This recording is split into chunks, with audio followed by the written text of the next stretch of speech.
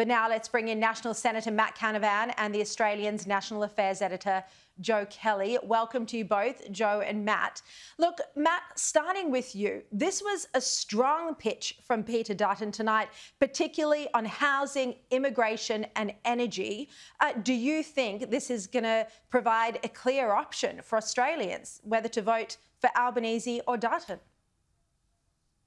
Well, I think it was a very strong contribution uh, uh, from uh, from Peter.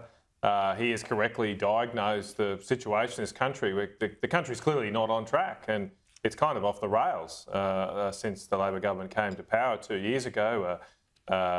people's people's grocery bills have gone through the roof. mortgage payments are out of control. The border doesn't seem to be controlled. There's just enormous numbers of people coming over here. people can't find a house, let alone buy a house. Just finding a bed. I mean, something is something has gone seriously wrong in this country over the past two years, and and I think the important thing to note is Peter's not just diagnosed that. He, he's also outlined some very strong treatments that the coalition would do, like uh, banning uh, foreigners from buying homes for a couple of years, like uh, significantly cutting back on those migration numbers that have been allowed to grow by too much, stronger penalties for crime uh, as well. Uh, these are the sort of things we do need. We need a government focused on on the local issues. I think we've had a government the last couple of years that has been distracted with the, the global preoccupations of an elite class that uh, want to see uh, massive climate change action, that want to see open borders, uh, that want to drive uh, divisive proposals like the voice.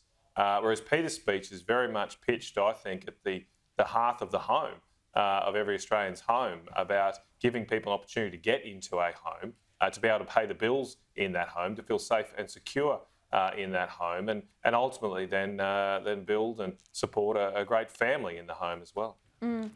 Uh, Joe Kelly, you know, I'm really interested in your analysis of this speech because to me, very clearly, that wasn't a budget reply speech, that was a pitch for the Prime Ministership. Uh, Sharri, I think it was a punchy and political speech from Peter Dutton. I think he's trying to uh, really draw some uh, larger contrasts between uh, himself and Anthony Albanese, his philosophy and Labor's philosophy.